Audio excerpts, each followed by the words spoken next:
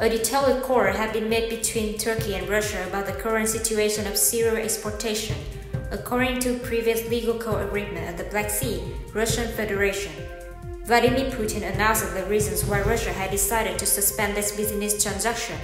From the Kremlin side, they emphasized the key mode, with the support of the West managers, has used the humanized lobby of the Black Sea, which was created to deliver cereal from Ukraine to perform attacks on the infrastructures and vessels of the Black Sea Fleet of Russia at Sevastopol. Russia wants to protect the security of the delivery performance in the Masonite lines. The Kremlin declared that Russia will only reconsider and reopen the previous business transaction at the Black Sea if Kiev follows the Istanbul Code agreement strictly and carefully according to law, and especially not using the humanized lobby for military purpose.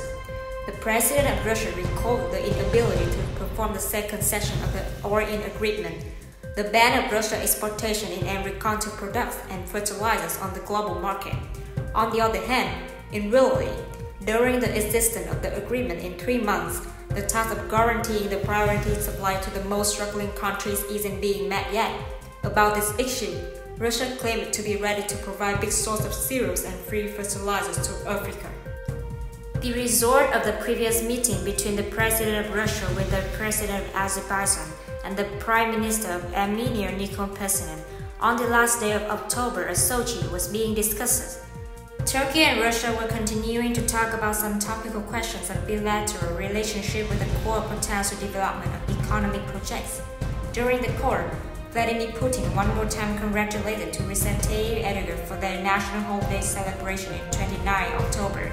Turkey and Russia also often remain in bilateral contact in many fields.